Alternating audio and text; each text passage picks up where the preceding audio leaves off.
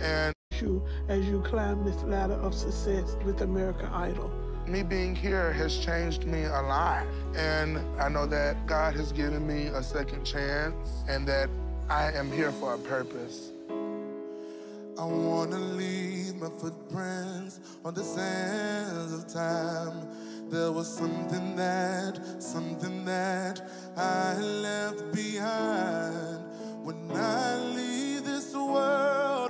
I leave no regrets, but something to remember so they won't forget I was here.